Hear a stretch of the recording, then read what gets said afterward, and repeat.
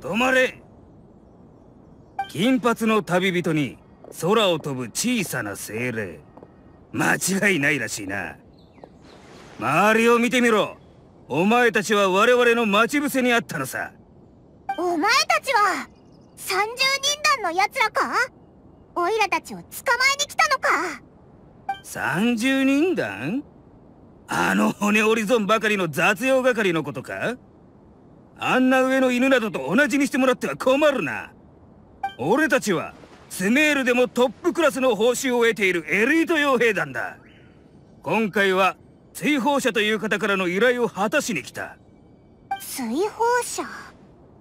教令員の追放者か？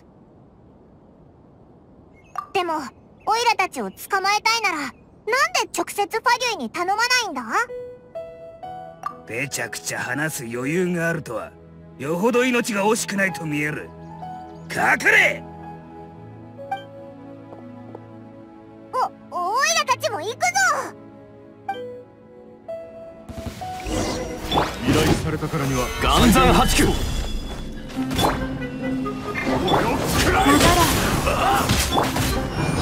風の行く先を。ふっ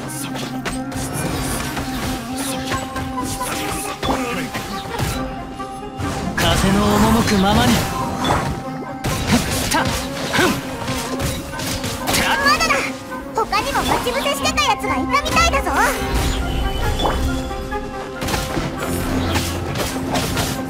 ヘイ風の行く先を。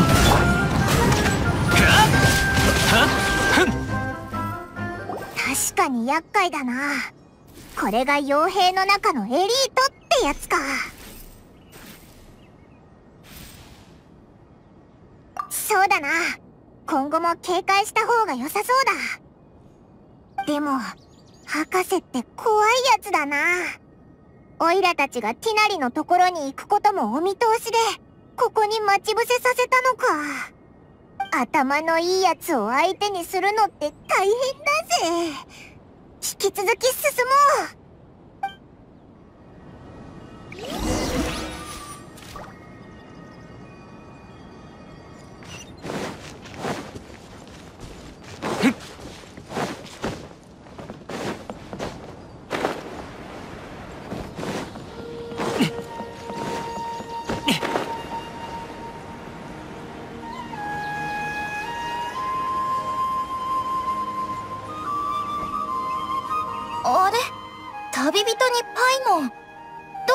戻ってきたんだ。コレイまた会ったな。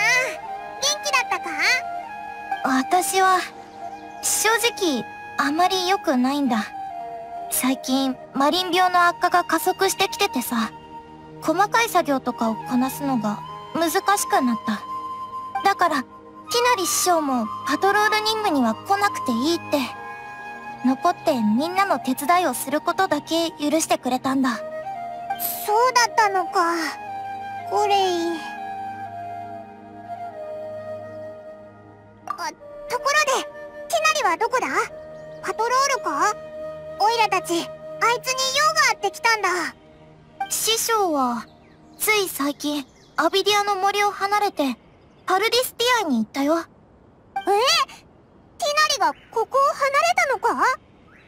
でもティナリはずっとアビディアの森を離れることを嫌がって賢者の誘いですら断ってただろ？私もおかしいと思ってるんだ。師匠はずっとレンジャー長の仕事を重視してた。そう簡単には離れようとしなかったのに。今回はすごく急いで出て行ったんだ。ううん何も。それどころかここを立ったことすら書き置きで知ったんだ。いろんな業務とかスケジュールについても書いてあった。あんなに急いで行ったってことはきっと一刻を争うようなことが起きたんだと思う。師匠は以前教令員の正論派で学んでたんだ。パルディスティアイはその正論派の研究基地みたいな場所で研究に使う珍しい植物をいろいろと植えてるらしい。師匠はレンジャー長になる前パルディスディアイで長いこと学術研究をしてたんだ。研究基地か。ティナリは一体、どんな研究をしようと思い立ったんだろうな。時間もないし、そのパルディスディアイってところに行って、ティナリを探そうぜああ、うん。私は大丈夫だ。マリン病の症状になんかとっくに慣れてる。師匠に会ったら、よろしく伝えといて。おう、わかったぜじゃあな、これ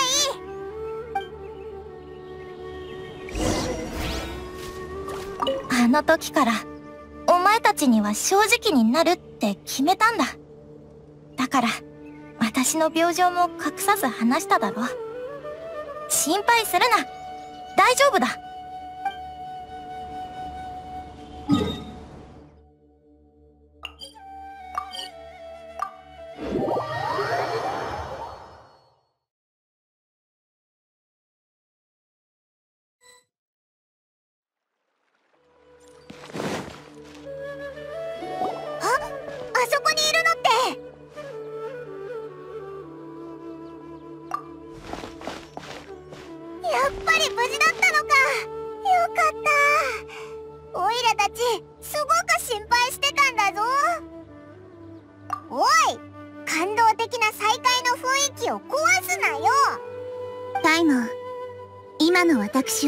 警戒するのは、とても賢明な判断よ。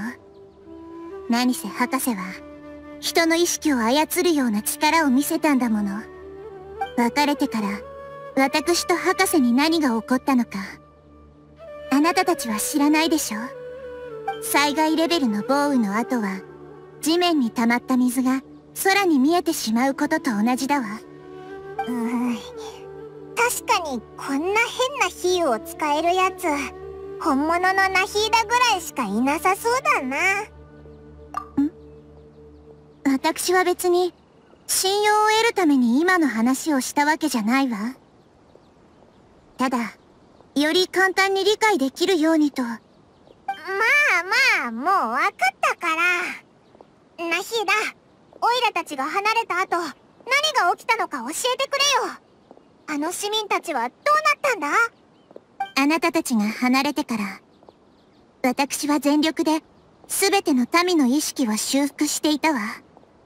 幸い、博士の言っていた、情報を潜在意識に投入するというのは、脳に直接書き込むわけじゃなくて、人々の脳裏に幻覚を作り出すようなものだった。だから、私の今の力でも解決できたの。彼が私をコントロールしようとした瞬間、全員の意識修復が完了した。だからすぐに、意識転移を使って、その場を逃れたの。ふぅ。博士の不意打ちなんか予想してなかったからな。ナヒーダがいてくれてよかったぜ。それほど良くもないわ。人々の意識を修復する過程において、博士は私の本当の身分を見抜いたわ。これで、私たちの切り札が、また一枚減った。それに、彼にアーカーシャ端末を改造する力があるのなら、私の意識を捕獲するのも時間の問題かもしれない。じゃあ、もう今までみたいに、自由に意識を転移できなくなったってことか。一体どうすれば。あいつは今教練院にいるし確かにまたアーカー社に細工するかもしれないよな。うーんなんだかもてあそばれてる感じだ。厄介な相手だぜ。それに噂じゃ博士は単純な武力だけでも確実に第2位の座につけるらしいぜ。まだ落ち込むには早いわ。突破口を探しましょう。おう。そういえばナヒーダはどうしてオイラたちがパルディスディアイに来ることを知ってたんだ？お前もここで待ち伏せてたのか？ええ。私は旅人の元素力を感知することができる。力の移動する方向を頼りに場所を推測したの。あなたたちも観光のために来たわけじゃないんでしょ？何か手がかりを見つけたの？オイラたち、以前知り合った学者を探しに来たんだ。ティナリって言うんだけど、前に賢者に勧誘されてるのを見た。ナヒーダも一緒に行ってみるか？え、行くわ。その彼を巻き添えにせずに済めばいいのだけれど。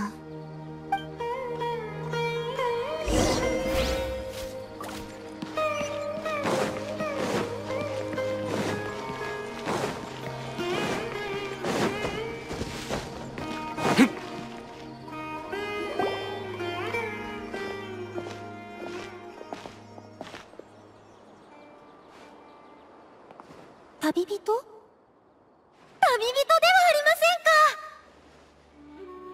か。お、お前は、ハイパシ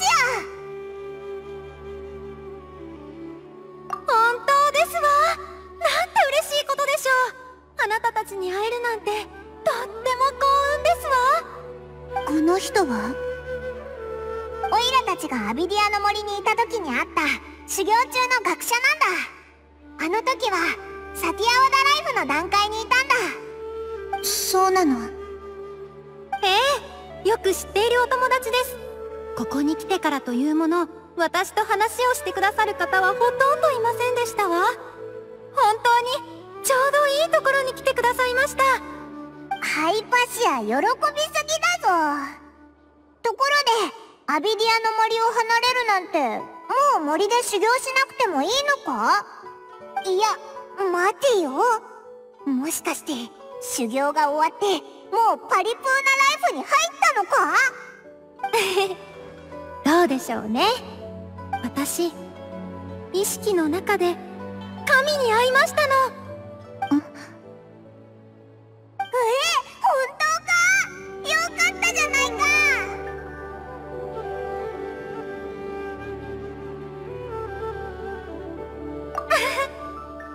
あなたたちとこの崇高な喜びを分かち合うことができるなんて。なんと素晴らしいのでしょう。神と意識を交わすことができたあの瞬間は比類なき至高の体験でした。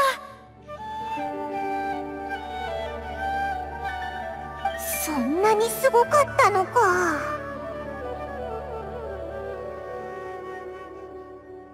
そうなんですの？あ少し待ってくださいな。あなたたちとの約束を忘れていなくてよ。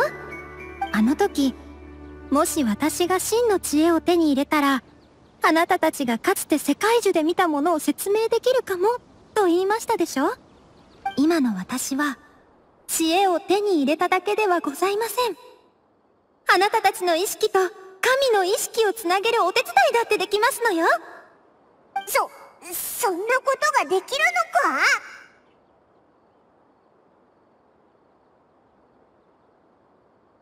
聞いたことはないわでも試してみたいのなら私はあなたの意識を全力で守る少し待っていてくださいな。パラハームを少々持ってきますから。これは、必要不可欠な儀式なんですの。またあのお香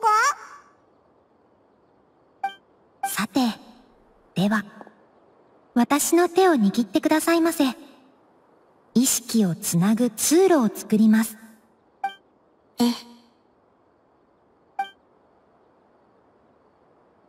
準備はよろしいかしら？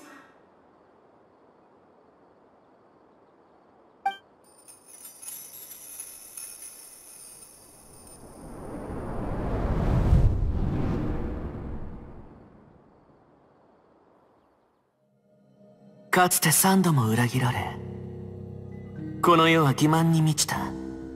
まやかしに過ぎないと知った。僕の怒りが静まることはない。一度目が神。僕の創造者。僕の母。それは力に左右され役立たずの僕を捨てた。二度目が人。僕の家族。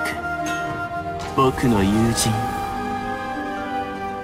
それは恐怖に縛られ僕を忌まわしいものとみなした。三度目が同類。僕の期待。まだ羽の生え揃わぬ鳥。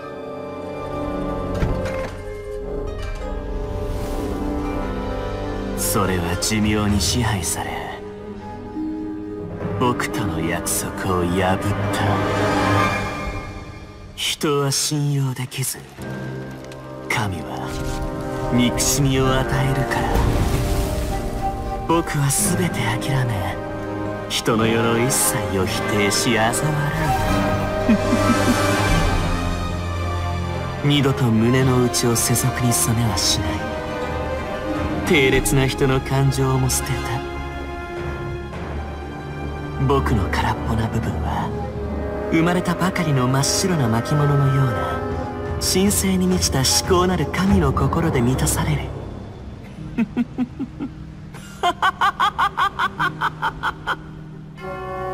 恐れずとも痛みはほんの一瞬だ。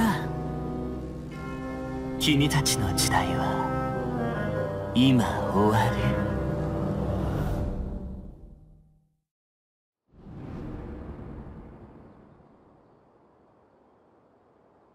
これは。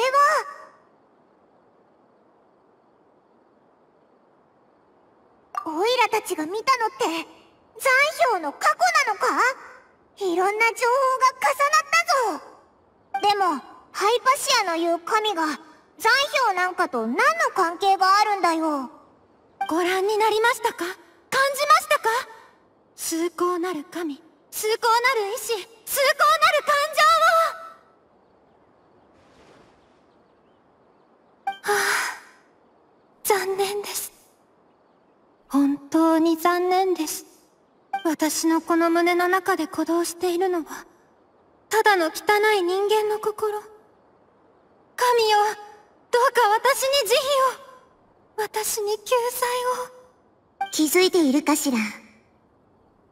これはパリプーナライフなんかじゃないわ。おそらく。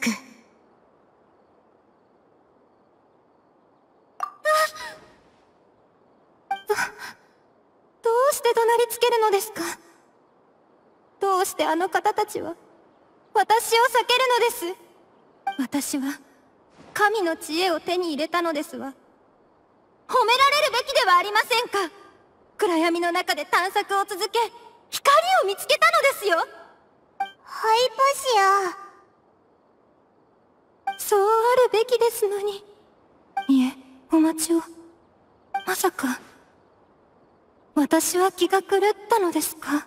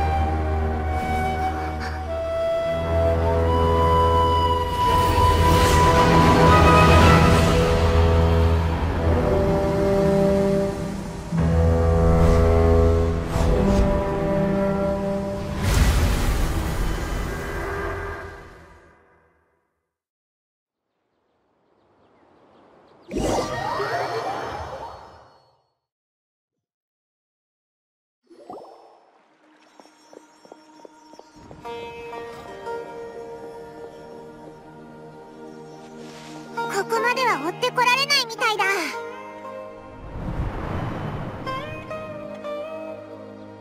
大丈夫かナヒーダいや違う。お前この感じ戻ってきたのか？今度はまた旅人本人なの？さっきまでずっとナヒーダがお前の体を操ってたんだ。キャサリンの人形が壊される直前に意識を急いでお前の体に移したみたいだった。そしたらティナリが騒ぎを聞きつけてやってきて一緒に傭兵たちを倒してくれたんだ。それでここまで逃げてきたってわけだ。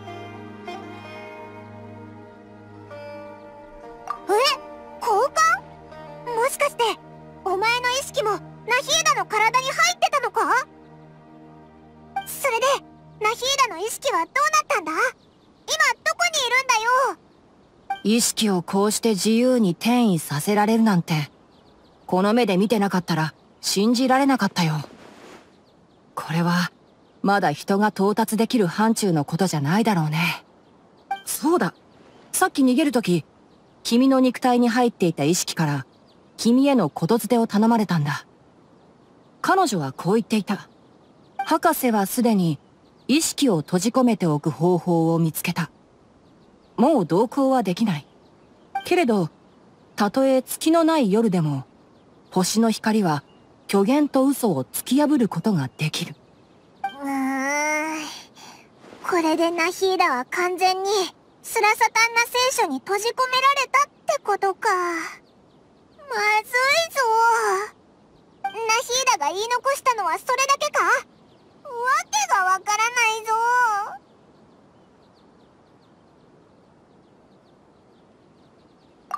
そっか。博士はもうナヒーダの意識を捉えてるから。ナヒーダが何を言ったか分かっちゃうんだもんな。慎重なんだ。たとえ月のない夜でも星の光は虚言と嘘を突き破ることができる。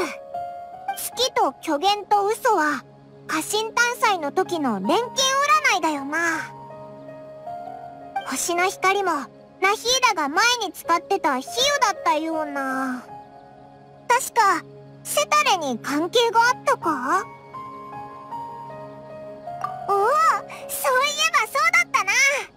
つまりナヒーダは砂漠に助けを求めに行けって言いたかったのか。でもナヒーダがいない今オイラたちだけで大丈夫かな？ハイモン今スラサタンナ聖書って言った？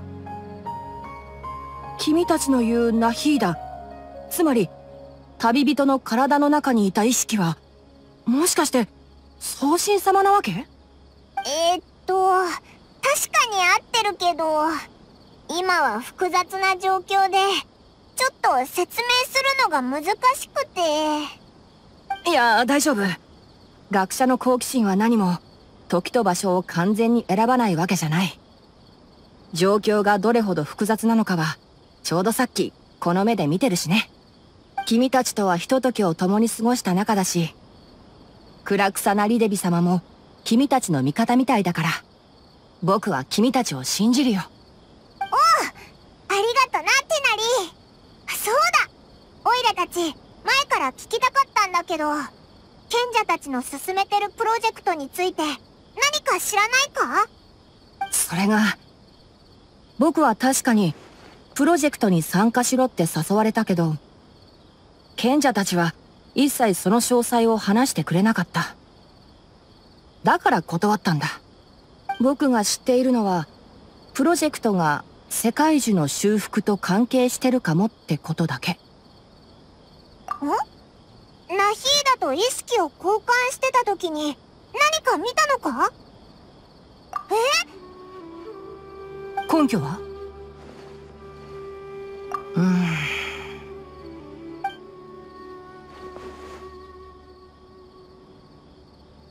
そうか。なるほど。道理でハイパシアの症状が以前の狂った学者たちとは違うと思った。今生まれようとしてる新たな神の意識に触れたからだったんだ。ティナリはハイパシアのためにアビディアの森を離れたのか？そう。ハイパシアの精神の異常に気づいたんだ。だけど症状が特殊だったからこっそり彼女をパルディスディアイまで連れてきて彼女を元に戻す方法を探ろうとした。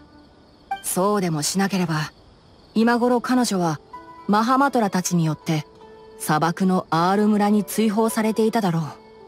ところで僕も以前から教令院がクラクサナリデビ様を軽視していることは知っていたけどまさか新たな神の創造なんて。傲慢でうぬぼれたことをしようとしてたなんてね。誘いを受けなくて正解だったよ。博士と残氷ファデュイの執行官が2人もスメールにいるのか。先が思いやられるね。でも君の説明からするとプロジェクトはまだ完全には終わってない。つまりまだ奴らを止める余地はあるってことだ。新たな神の創造と世界樹の修復に一体どんなつながりがあるのかな？うん賢者たちの目的は未だにはっきり分かってないんだよな。おう今ある情報もだいぶ整理できたしな。まずは行動しようぜ。ティナリ何か考えはないか？僕はひとまずここに残る。ハイパシアの方も何とかしてあげたいしね。砂漠に行くならまずはキャラバン宿駅に行くといいよ。あそこが砂漠地帯へ行く一番便利なルートだから。何か僕に手伝えることがあったらここまで来てくれ。君たちに知恵が訪れますように。おうハイパシアが良くなるといいな。それじゃあまたな。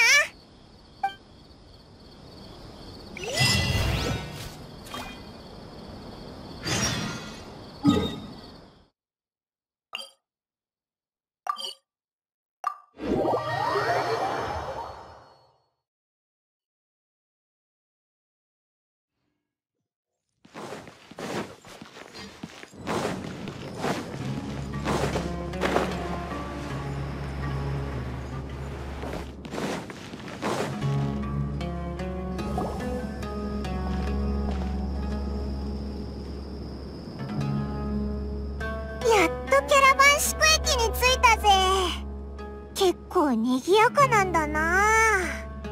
あの壁の向こうに砂漠が待ってるのか。確かこの壁って防砂壁って言って外からの砂を防ぐためのものなんだよな。こんな高い壁。もしかしたらこれもマハールッカ・デバータの神業なんじゃないのか？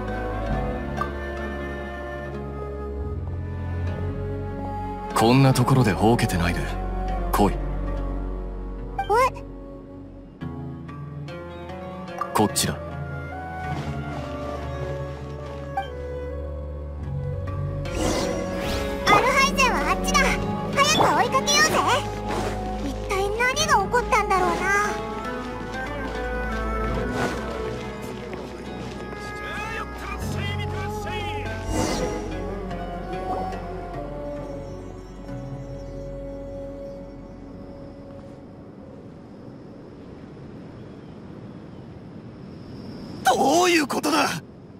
いつはどこに行った？くそさっきまでここにいたのに見失うとは。エルマイト旅団？今回は誰の手先なんだろう？オイラたちつけられてたのか？油断しすぎだ。あの尻尾たちの尾行の程度なんてたかが知れている。すぐ気づけただろうに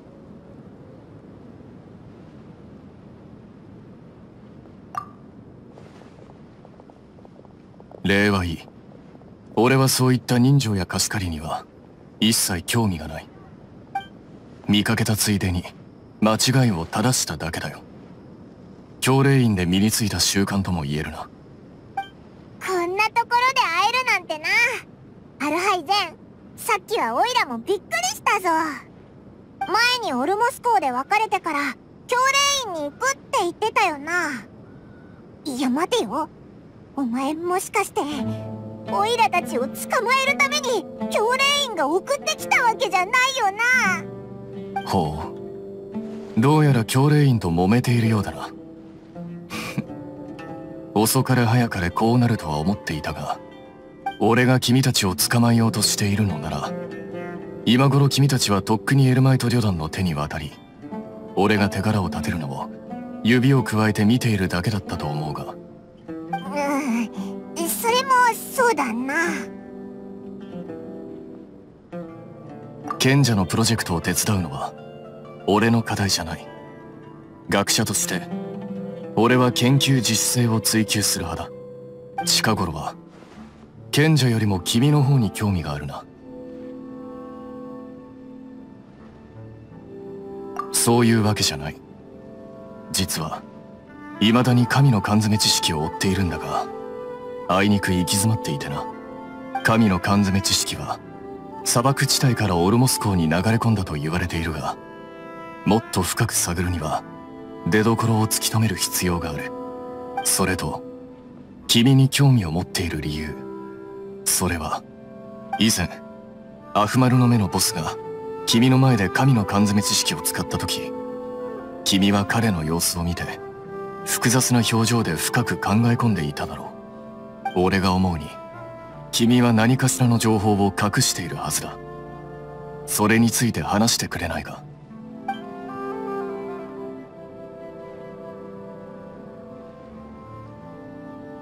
アルハイゼンってすごく鋭いんだな。そんな細かいことまで覚えてるなんて。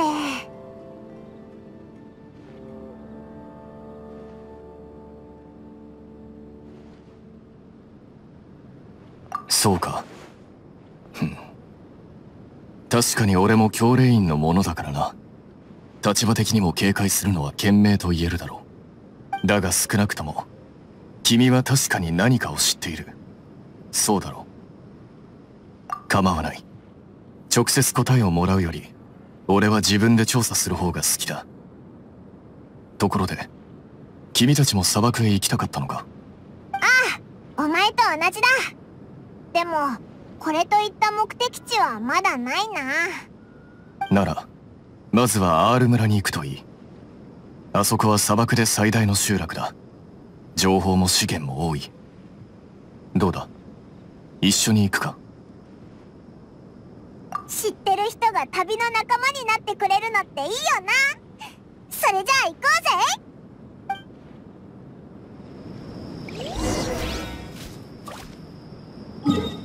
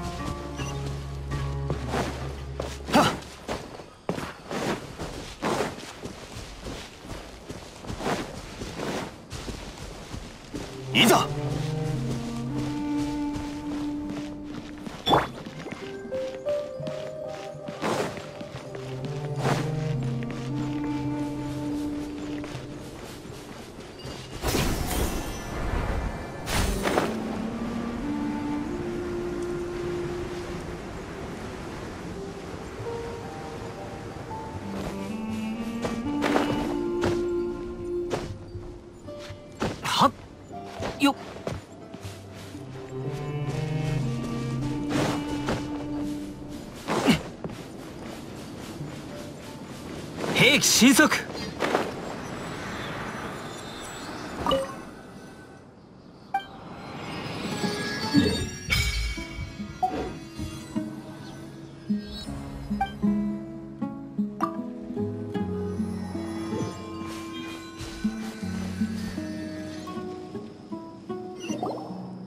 この先が砂漠の民の避難所。R 村だ。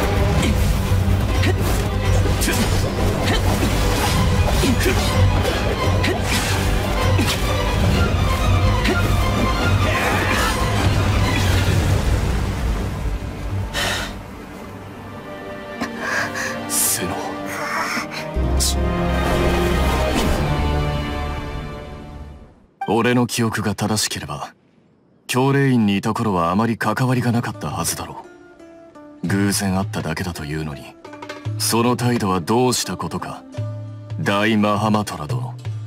運よくこの一槍を避けられたとしても審判から逃れられるとは限らないよ。アルハイゼン。審判？先ほどの君の行為は審判かそれとも粛清だったのか？俺は全力を出していない。もし出していればその旅人では俺を止められなかっただろう。一見暗殺に見えただろうがターゲットの反抗心と逃亡意欲を失わせるためやったことに過ぎない。これがマハマトラのやり方だ。お前も知っているだろう。あくまで君個人のやり方に過ぎないと思うが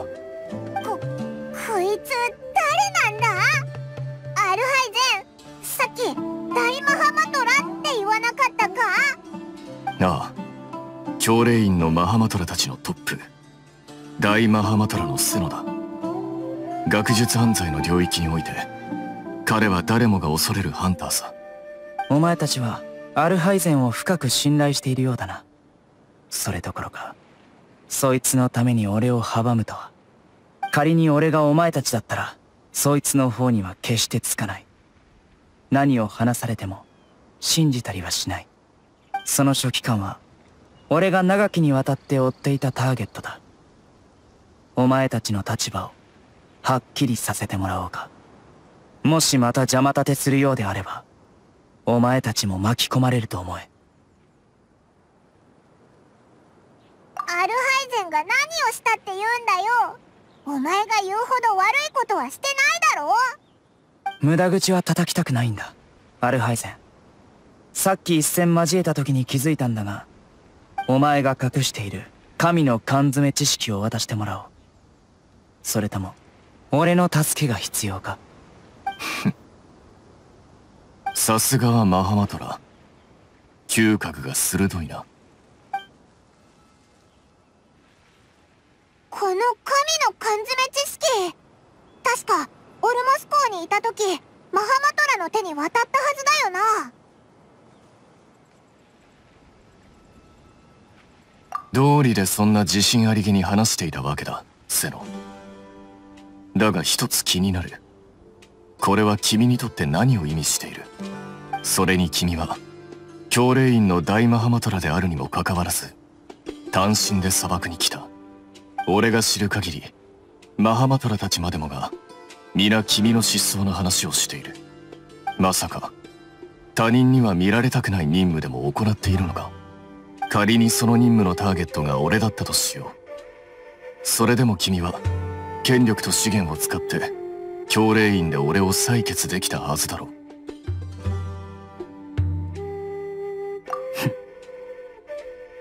う。やはりお前は厄介だ。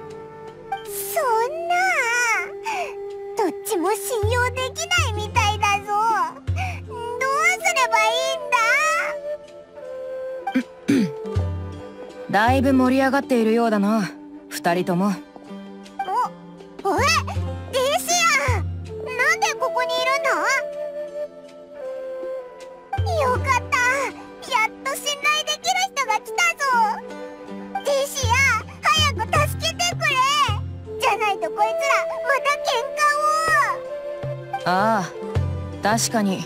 教霊院の大物二人がまたやり合ったりしたら大変なことになるな独りよがりな道理を並べ教霊院の虚しい規則と道義ばかりを口にする。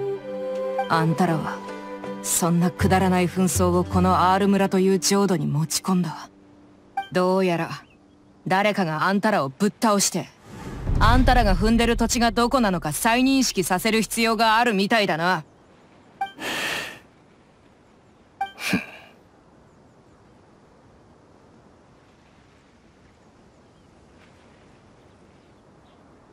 おいおい。あんたら私の話が聞こえなかったのか？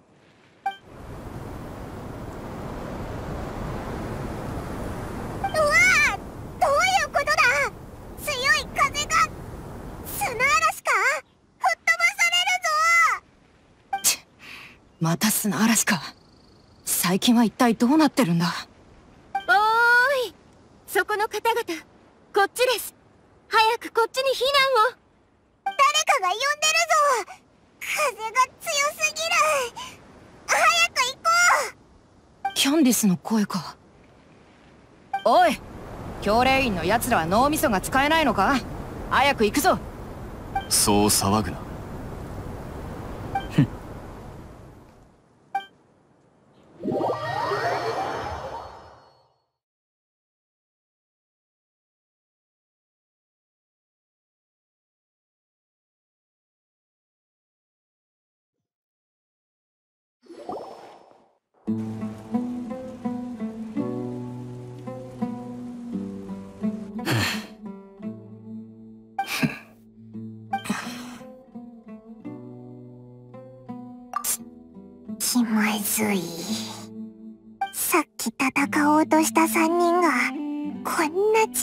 な空間に押し込められてるなんて。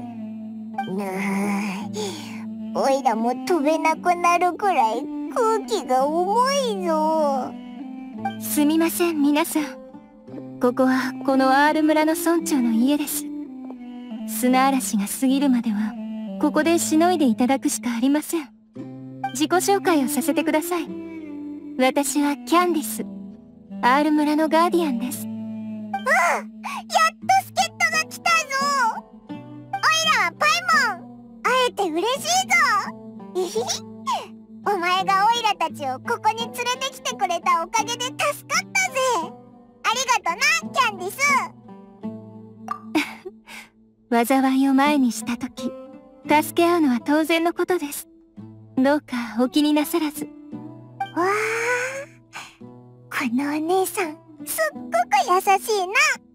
ほんとあいつらとは大違いだぜ。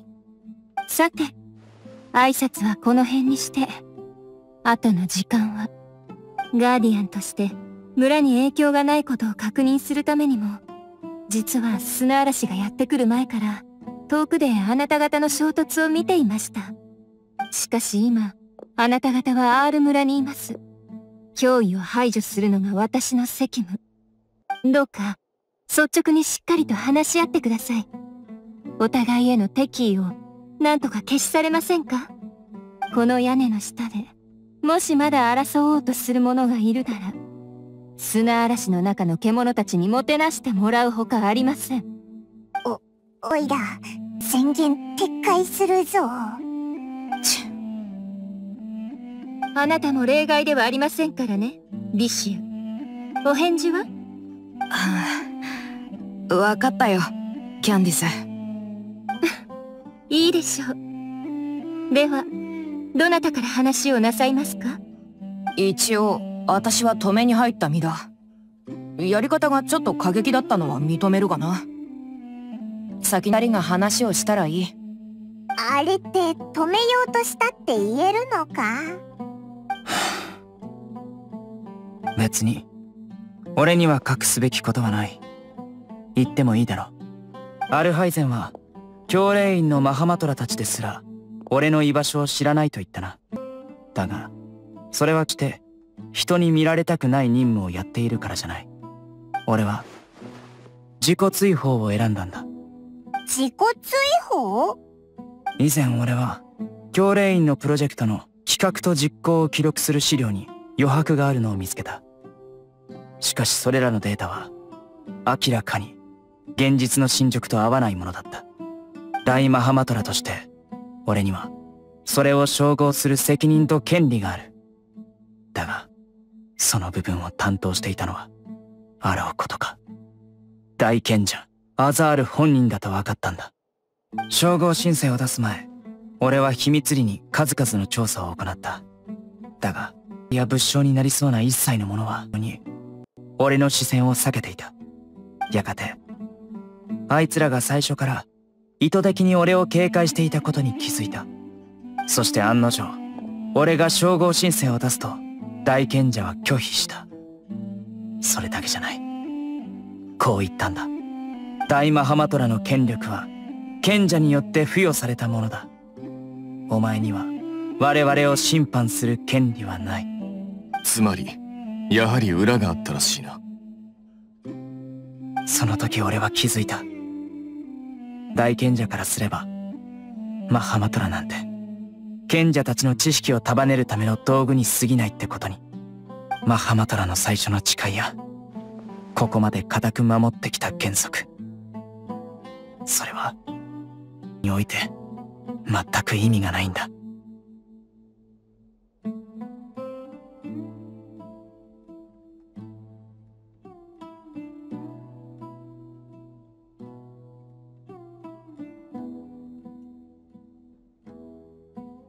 ああその一件を理由に教練院を脱出した。賢者たちが俺に対して行動を起こす前に。これが一番賢明な判断だったと思ってる。おかげで奴らの監視の目を逃れられたしな。俺はこの件の調査を絶対に諦めない。それに他人から権力を付与される気はない。俺は俺の名のもとに審判を下す。セノオイラたちも教令員の賢者を調べてるんだ。同じ立場みたいだぞ。それに今はもう大マハマトラじゃないんだろ？なんだかあんまり怖くなくなったぜ。でもセノはなんでアルハイゼンをターゲットにしてたんだ？まさか。教練院で調査をしていた期間アルハイゼンが賢者と面談しているのを見たからだよ。賢者はアルハイゼンに金髪の旅人を調査するよう言っていた。そうだな。アルハイゼ。ンそしてその任務はプロジェクトと同様にどこの記録にも残されていない。それに加えてお前は神の缶詰知識と関わりがある。そろそろ説明してもらおうか。その件は認めよう。俺は確かにこの旅人の調査任務を引き受けたお前。何しろその任務の見返りはどんな学者でも断ることができないほどのものなんだ。任務が終わったら神の知識を見せてやれ。そう賢者は言った。確かに。とてつもなく魅力的な条件だ。だが惜しいことに教令員の者は俺のことを分かっていなかった。大賢者は話の中で一つ重要な情報を漏らした神の知識が実在するということだ。それさえ分かれば俺にとっては十分。俺からすれば賢者はそこまでの信頼には値しない。考えてもみろ。神の知識をそう軽々しく他人に報酬として約束するなんていささかおかしな話だと思わないか。だから俺は神の缶詰知識という手がかりに従って独自に調査を展開した。結果的にこの判断は間違っておらず教令員を信じなかったのも正解だった。もしこの一件で警戒を解いていれば俺もあのアフマルの目のボスのように人と正常に会話することさえできなくなっていたかもしれない。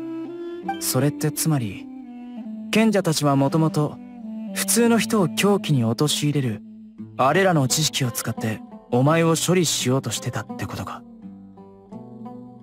もともと俺はすでに調査任務などには全く興味がなかった。ただ教令員をあしらうためにオルモス港で旅人の出現を待つと言ったんだ。だが神の缶詰知識を追っている途中で思いがけず偶然ターゲットに出会ってしまったのさ。犯罪者が最もよく口にする言葉が偶然だ。だが旅人と偶然出会ってもなお俺に教令員に協力する意思は全くなかった。君たちも覚えているだろう。当時俺があのタバーンを離れた時君たちは自分から俺を追ってきたんだ。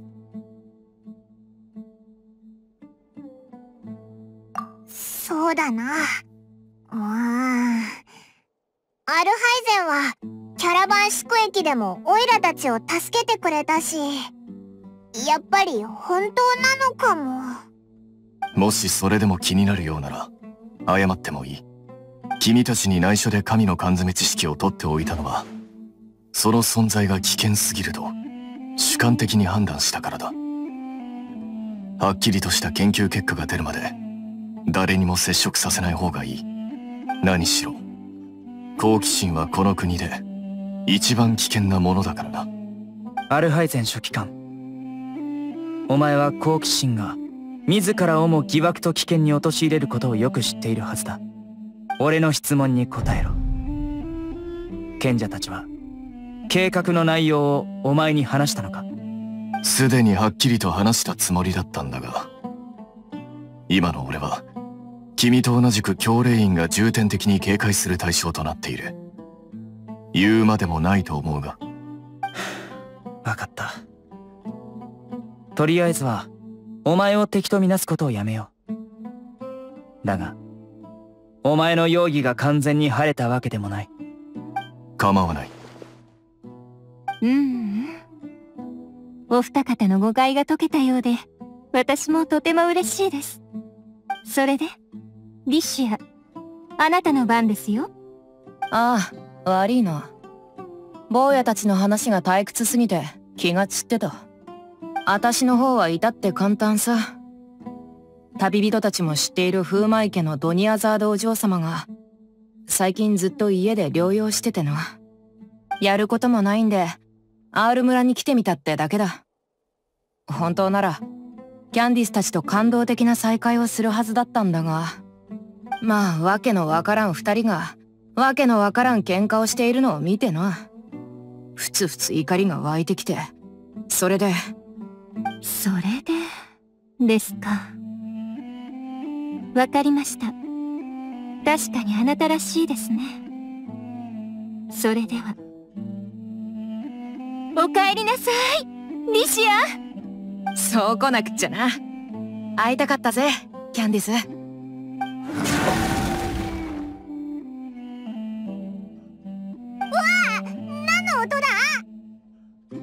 ご安心を。もうお互い敵視もしていないようですし皆さんはここで休んでいてください。砂嵐の中にいる獣は私が掃除してきます。砂嵐の中に出没する獣か。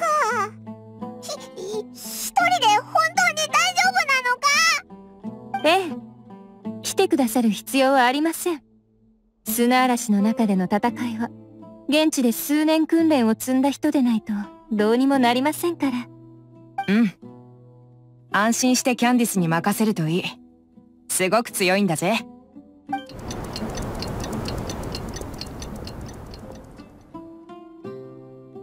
風が止んだみたいだ。砂嵐もこれで過ぎ去ったんじゃないか？キャンディスがずっと帰ってきてないけど本当に大丈夫なのか？やっぱり見に行ってみようぜ。そんなに言われると私まで心配になってきたぜ。どうせここにいるのも飽きたし行くか。この二人全く話さないしな。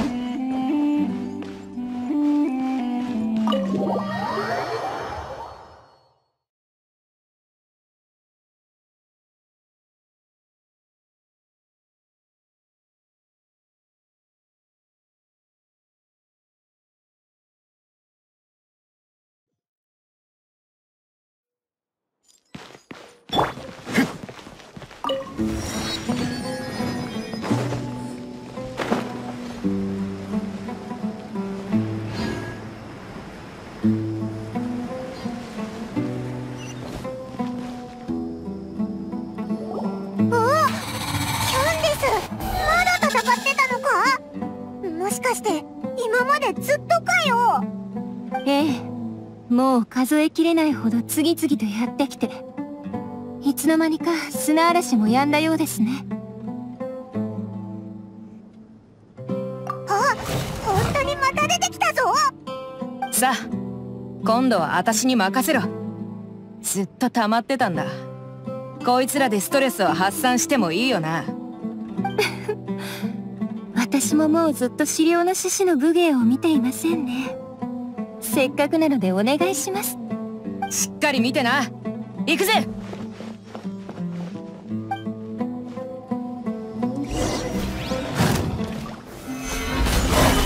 行け。風を知れ。もみちは散る狂乱怒涛。また新しい魔物が現れた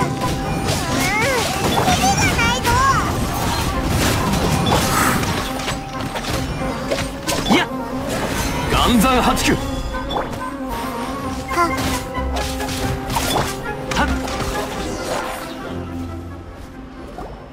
もう魔物が出てこないぞ。今ので最後だったんじゃないか？先ほどのは砂嵐の余波でしょう。しばらくはもう出てこないはずです。みんなお疲れさん。さっきの砂嵐で怪我した人はいないな。えっとおっと。悪いな。さっきは村のお年寄りと子供たちの面倒を見ててな。お客さんたちへの挨拶に来る余裕がなかったのさ。私は R 村の村長だ。アンプおじさんと呼ばれてるよ。村長俺ももともと砂漠出身だがここへはずっと戻っていなかった。そのさっきみたいな砂嵐はよくあるのか？よくあるとまではいかないが最近はますますひどくなって前より頻度も増えた。砂嵐以外にもたまに地震が起こることもある。こういった異常な自然現象は以前村にしばらくいた調査員によると世界樹の誇張と関係しているらしい。また世界樹の誇張が原因なのかつまり世界樹の誇張は森に地域を作り出すけどそれが砂漠では砂嵐とか地震って形で現れるってことか？自然界の全ては世界樹と切っても切れないつながりがある。確かにこれらの局所的症状は世界樹の状態を反映している可能性がある。R 村のみんなにも気をつけてもらわないとなところで今回私が帰ってきた時グラマパラが一人もいなかったがどういうことだ？グラマパラ？なんだそれ？キャンディスみたいなガーディアンとは違うのか？お前は好奇心旺盛だな。R 村の村人は教令院から追放された教学者を村の森人グラマパラと呼んでいるんだ。彼らの多くはアビディアの森で修行をした後精神に異常をきたした学者たちだ。教令院は奴らの狂った言葉が他の学者の精神に影響を与えると考え砂漠に追放した。まったくふざけた話さ。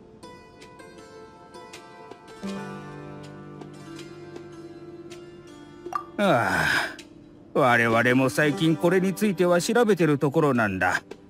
村にいたグラマパラたちがなぜかみんな次々と姿を消してしまってな。だが彼らがどんな風に去ったのか見た者は誰もいないんだ。もし何日かこの近くにとどまる気なら気にかけてくれると助かる。俺は過去に奴らと接触したことがある。奴らのことについては俺が調べよそもそも彼らの追放命令を執行したのはマハマトラだろう。罪悪感に駆られ責任から解放された今の身分を利用して贖罪でもする気か。なかなか面白いメンタルをお持ちのようだ。う皮肉を言っても無駄だ。もしお前に問題があったらどんな身分でいようと俺はお前を処断する。お前さんは元大マハマトラ様だったのか。こういう調査には慣れていそうだどうかよろしく頼むよ。それってハイパシアのことを思い出したからか？狂った学者たちは確かにかわいそうだよな。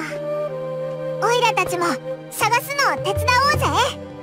でもこのセノってやつと一緒に行動して本当に大丈夫か？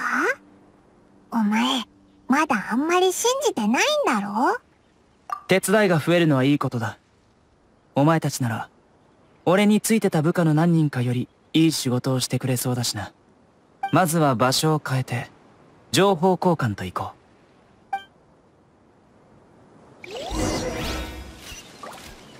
兵器新速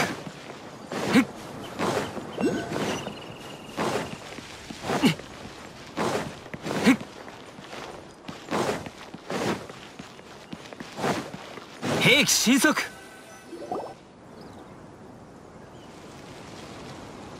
自己追放をしたがやっていることは昔と変わらない。本格的な調査に入る前に何か聞きたいことはあるか。俺もかつての部下から聞いたんだがこの呼び方はある事件から来ているらしい。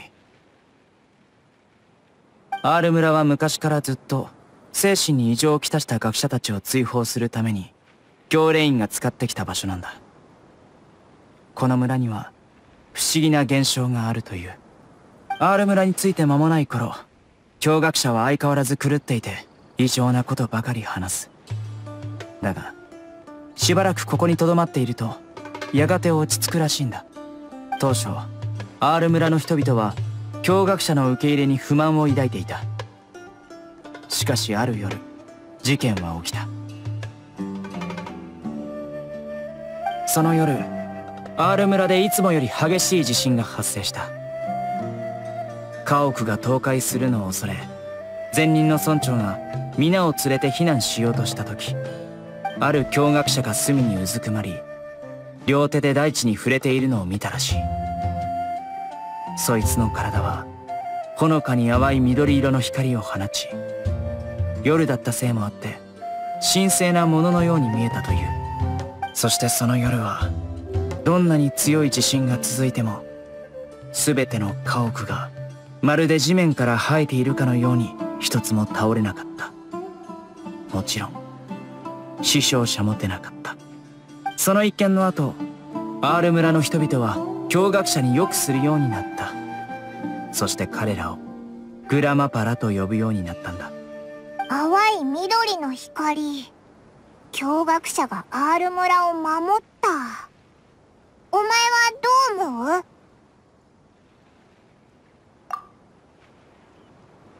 おいらもそう思うぞ。セノあの狂った学者たちは R 村でもアーカーシャ端末をつけてるのか？教練員は彼らを監視しているから理論上はつけてるはずだ。無論アーカー社本体が彼らに対して発信することはないが。やっぱりこれで辻褄があったな。学者たちが狂った状態から落ち着いたのも多分ナヒーダが慰めたんだろう。一つの物語だけで結論を出せるとはどうやら。お前たちは俺の知らない情報をかなり持っているみたいだな。それで何が分かったんだ？暗草なりデビと言ったか？なんだよ。信じないのか？きっと暗草なりデビがアーカー社を通じて教学者に力を与えたに決まってるぞ。いや。信じないというよりはお前たちの考え方を不思議に思ってな。暗草なりデビ現送信が未だにスメールで何か行動しているのか。教練員は昔からすでに亡くなったマハールカ・デバータの方を重視していた。奴らは暗草なりデビには見向きもしなかったんだ。そのせいで俺の認識も影響されてるかもしれない。それに俺は暗草なりデビの知跡について全く聞いたことがない。彼女はまるで存在しない神だ。かじゃないぞ。あいつはなんていうかすごく優しくて頭が良くてたまに変なことを言っちゃうところもあるけどいい神なんだぞ。俺は長年犯罪者の尋問をしてきた。人が嘘をついているかどうかくらいわかる。だったらオイラたちが本当のことを言ってるってわかるはずだろ。ああその目は嘘をついていない目だ。お前たちは本当に暗草なりデビと接触したことがあるみたいだな。どうしてこんなことに神は。ずっと俺たちのそばにいたのか。よし。これでやっと一番いい形で調査できるぜ。でも一体何から始めればいいんだ？うーん。一人一人に聞いて回るか？お前ら俺のおじいちゃんを助けに来たのか？あお前は誰なんだ？その格好と鉛現地の子供だな。俺はイザークだ。お前らおじいちゃんを探しに来たんだろ？お前の祖父は驚愕者なのか？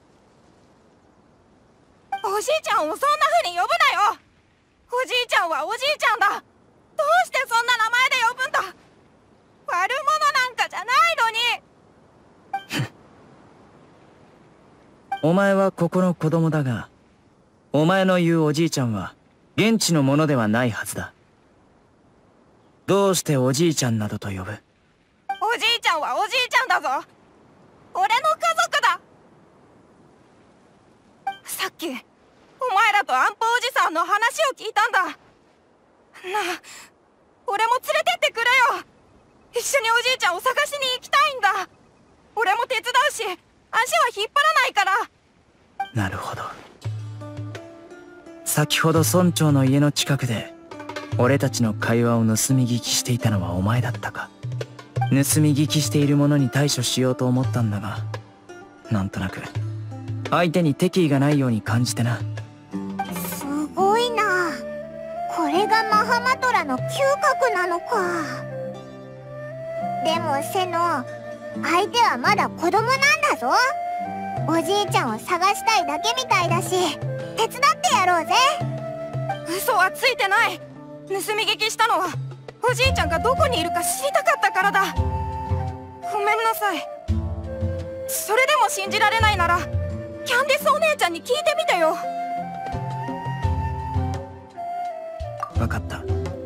ならまずキャンディスに状況を確認しよう。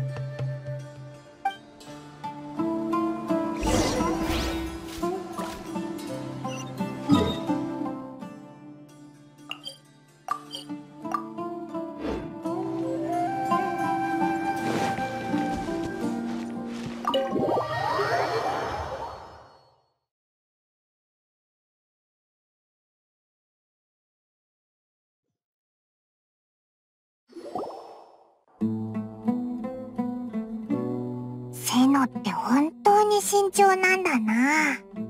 これがマハマトラか。あらもうお戻りになったのですか？確認したいことがある。イザークという子供を知っているか？やはりあなた方のもとへ行ったのですね。このことを知ってたのか？頑張って隠れていましたが窓の外で盗み聞きしていたのには気づいていましたから。あの子は本当に祖父を見つけたいと強く思っています。イザークの両親はエルマイト旅団のメンバーでシティに行ってからというもの村へ戻っていません。ずっとあの子の祖父が世話をしてきたのです。しかし残念ながら何年と経たずしてあの子の祖父は亡くなってしまいました。当時あの子はまだ幼く R 村の住民が交代で世話をしてくれたので無事に育ってはくれたのですがその後年老いた教学者がここへやってきました。イザークはその学者が祖父にとても似ていると思ったようでよく覗きに行っていたのです。しかし彼は精神に異常をきたしておりいつもわけのわからないことばかり口にしていました。イザークも怖く思ったのか。口ではおじいちゃんと呼んでも安易に近づこうとはしませんでした。ですがある夏の夜いつもブツブツ言って変な動きをしていたはずのおじいちゃんが急に静かになり遠くに隠れているイザークに気づいたのです。おじいちゃんはイザークのそばに行って頭を撫でました。そしてあの子を村の入り口まで連れて行き星を一つ一つ数え見分ける方法を教えたのです。そうしてイザークに寄り添いあの子が眠りにつくまで付き添っていました。次の日の朝目が覚めたイザークはおじいちゃんを探しに行きましたが彼はイザークを覚えていませんでした。しかしおじいちゃんの表情は依然として落ち着いていました。そこには狂気のかけらなどみじんもなくまるで自分の世界に浸り無遊しているかのように落ち着いていたそうです。イザークはおじいちゃんが少しでも正気を取り戻したことを心から喜び毎日嬉しそうにつきまとうようになりました。おじいちゃん遊びに連れてってあげるよ。もっとお話しして。なんて言いながら。よくわからないけどちょっと悲しいぞ。